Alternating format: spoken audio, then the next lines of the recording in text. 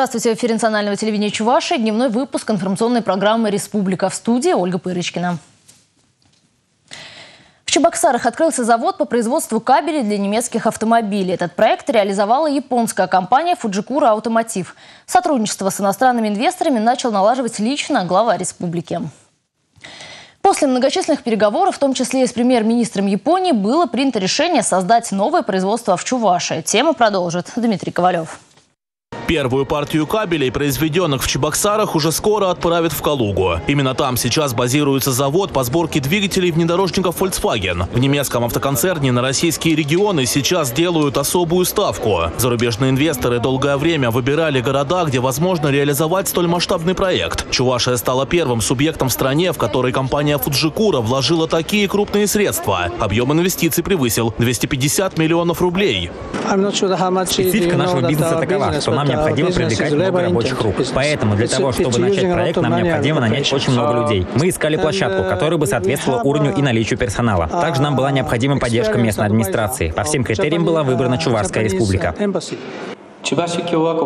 Чувашия обладает высококвалифицированными ресурсами и активно работает над развитием обрабатывающей промышленности. Компания Fujikura приняла решение об открытии нового завода в очень хорошем месте.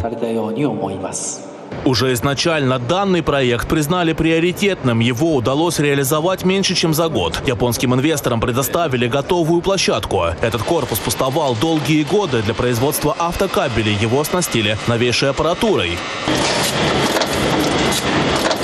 Один такой кабель состоит из сотни тонких проводов. Их скручивают, спаивают со специальными контактами и обматывают в изоляционную ленту. Это по-настоящему ювелирная работа. Многие специалисты проходили практику в стране восходящего солнца.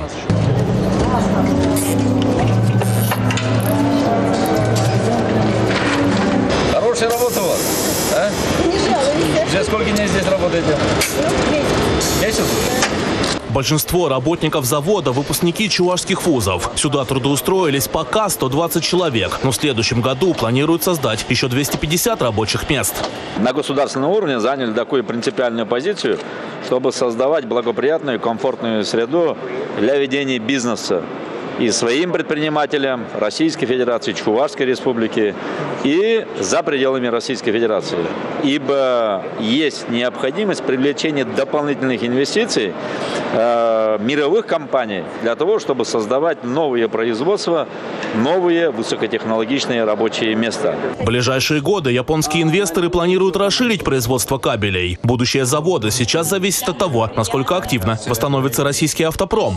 У нас есть возможность к расширению. Но если говорить о развитии, то с момента разработки продукта и запуска необходимо от 3 до 4 лет. Это заложено в бизнес-плане.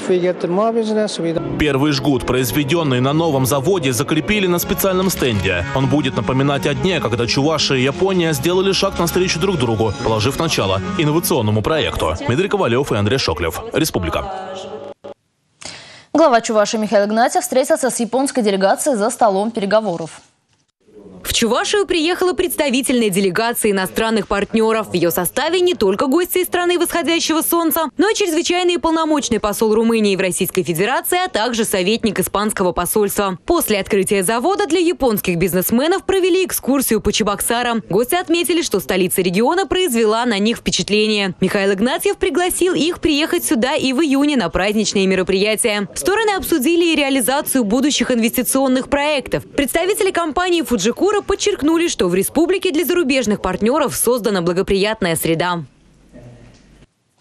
Любишь парковаться, люби платить за парковку. Вопрос платных стоянок в центре столицы Чуваши сейчас рассматривают в городской администрации. Технологии, которые позволят организовать такую практику, презентовали журналистам. Я вожу машину ловко, но одна беда – парковка. Выезжаю с позаранку, чтобы отыскать стоянку. Про нехватку парковочных мест в городах россияне уже слагают стихи. Проблема эта знакомой столицы Чувашии, как бы парадоксально не звучало, изменить ситуацию в лучшую сторону позволит как раз ограничение парковки в центре Чебоксар. То есть, если она станет платной. В настоящий момент мы работаем над определением зоны платных парковок, улиц, входящих в эту зону. Предварительно эта зона ограничена улицами а, Президентский бульвар, Энгельса, в том числе и ЖД вокзал, потому что вот сегодня мы были, мы когда искали место, где организовать презентацию дан, данного оборудования, поставить этот автомобиль, пригласить вас, мы заехали на ЖД вокзал. В настоящий момент сейчас ЖД вокзал забит машинами, и машинами, как вы понимаете, не теми, кто уехал на поезде, не теми, кто кого-то встречает или ожидает. То есть там просто люди, находящихся э, поблизости предприятий. Организовать платную парковку на значительной территории без особых хлопот позволяют такие устройства, как паркоматы. На улицах Москвы они стоят уже несколько лет. Недавно появились у соседей в Казани и Нижнем Новгороде. С помощью сотрудника или системы фото и видео паркомат фиксирует время, когда автомобиль заехал в зону платной стоянки. Первые 15 минут плата не взимается, а затем включается счетчик. Расплатиться можно банковской картой, смс-сообщением с телефона или через специальное приложение. Кроме того, умные устройства можно объединить в одну систему. Объединив всю информацию, вы можете в дальнейшем уже, находясь э, в офисе, дома, прежде чем выйти куда-то, посмотреть, зайти на портал, посмотреть э, тарифы э, в зоне парковки и плюс их свободные места. Плюс у человека есть свой личный кабинет, который он может пополнять либо через мобильный счет, либо через паркомат, либо через СМС.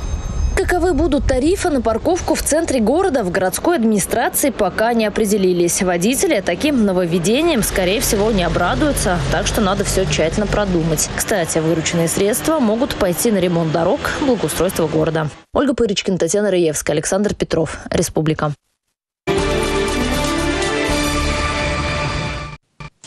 Как обеспечить продовольственную безопасность России? Этот вопрос оказался в центре внимания аграрных вузов страны. В Чувашской сельскохозяйственной академии начала свою работу международная практическая конференция.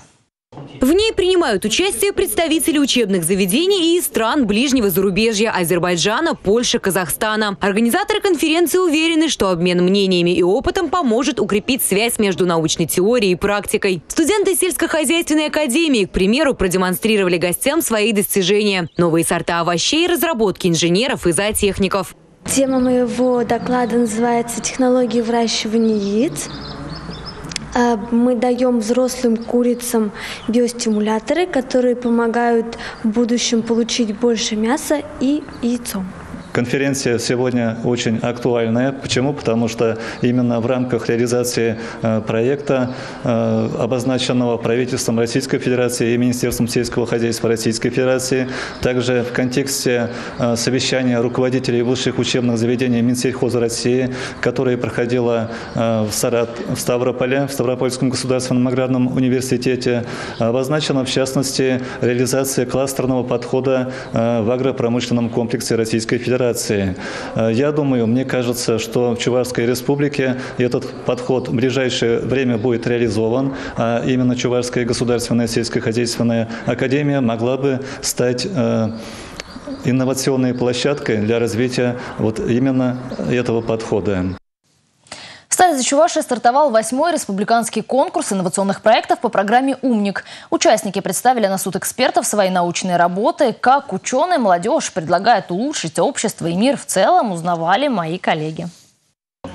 Плодородная почва для взращивания новых идей, инкубатор бизнес-инноваций. Все это об умнике. Уже шестой год в столице Чувашии собираются самые одаренные и талантливые студенты и молодые специалисты. Цель у всех одна – доказать, что их идея способна изменить окружающий мир в лучшую сторону. Проекты представлены по пяти различным направлениям. Павел Моисеев из сельскохозяйственной академии знает, как сделать так, чтобы на дорогах было меньше аварий. Многие автомобили и из-за там есть небольшая оплошность, можно так сказать, или недочет в конструкции. Из, из, этой, из этого недочета многие автомобили попадают в аварию. Некоторым образом решил эту проблему.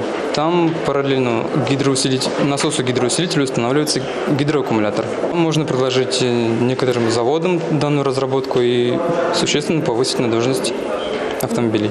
Конкурс проходит при поддержке Фонда содействия развития малых форм предприятий в научно-технической сфере и Минэкономразвития Республики. За шесть лет работы фонда в республику удалось привлечь более 165 миллионов рублей и реализовать около 200 разработок. Однако этого недостаточно. До сих пор существует проблема. Многие местные предприятия сотрудничают с умами из других регионов. Органы власти стараются решить эту проблему. Мы собираем сейчас со всех промышленных предприятий те технологии и разработки, который они планируют реализовывать в ближайшие 3-4 года.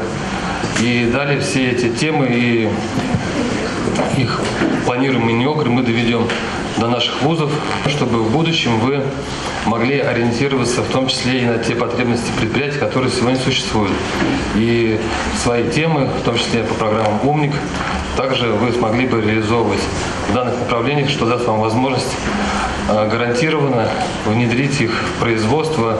Умник проходит в 69 регионах России. Победители получат грантовую поддержку на два года в размере 400 тысяч рублей. Далее они могут подать на старт и получить до 2 миллионов на первый год. А, далее уже 3 миллиона, потом 4 миллиона.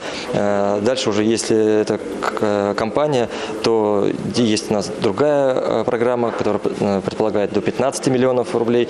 Есть и другие международные программы. То есть, войдя, собственно, вот в этот инновационный лифт, они могут вырастить свою значит, идею, воплотить в реальный какой-то бизнес. И есть э, случаи, когда выходят на международный уровень. Конкурс инновационных проектов «Умник» позволяет одаренным молодым людям не только развить и реализовать свою идею, но и дает возможность создать творческо-научную среду, в которой могут появиться новые и неожиданные решения. Татьяна Леонтьева, Игорь Зверев, Республика. Литературный музей имени Константина Иванова отмечает 75-летие. В честь этого события открылась новая экспозиция, а поэты и писатели собрались на творческий вечер. Музей имени Константина Иванова был создан в 1940 году к 50-летию основоположника чувашской классической поэзии. Но просуществовал всего год. Началась война, средств не хватало, помещений не хватало. В 1957 году для музея нашли отдельное здание – старинный особняк на углу улиц Ленинградской и Плеханова. Ну и он попал в зону затопления. Зато в 1990 к столетию поэта музей получил не только новое помещение, но и возможность расширить экспозицию.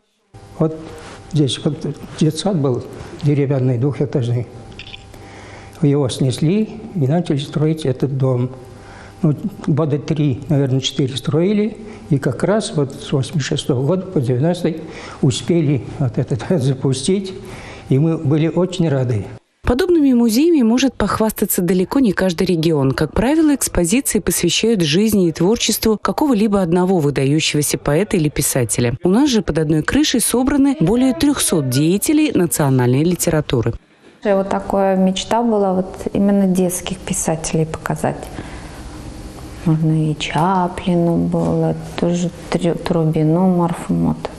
Помимо постоянной экспозиции в литературном музее проводятся тематические выставки. Сегодня, например, она посвящена самому музею и его сотрудникам. И творческие вечера. С недавних пор в литературном салоне стали бывать и художники со своими вернисажами. И теперь посетители музея могут представлять, что они читают иллюстрированную хрестоматию по чувашской литературе. Елена Гальперина, Олег Якимов, Андрей Спиридонов. Республика. Это все новости к этому часу. Я с вами прощаюсь до встречи в эфире национального телевидения Чувашии.